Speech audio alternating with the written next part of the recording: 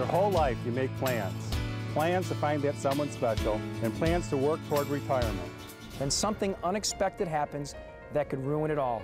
Now what's your plan? Call Michaels and Smolak today. We have a game plan, the better game plan. Just a few days ago, it was jogging weather, but Friday night was perfect for lacing up the skates and getting into the holiday spirit at Clinton Square. I've been waiting to go ice skating all this winter we've been having. For skaters, there's nothing better than a cool, clear night on the ice with friends.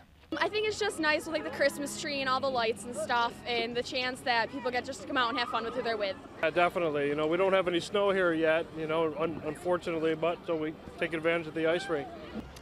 The mild weather has kept snow off the ground, but made things tough for the Clinton Square ice rink staff. The rink does about 60% of its business around Christmas break, and they're happy to have some good, solid ice built up. The warm weather, especially with the rain, was a little bit of a problem. Because uh, if it's if it's warm and not rainy, we don't puddle up.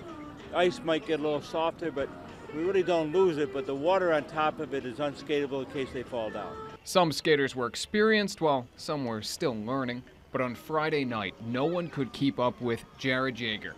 He's six years old and already knows the importance of practice. I like playing hockey.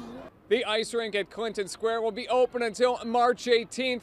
That's weather permitting, of course. For now, reporting from downtown Syracuse, I'm Alex Dunbar.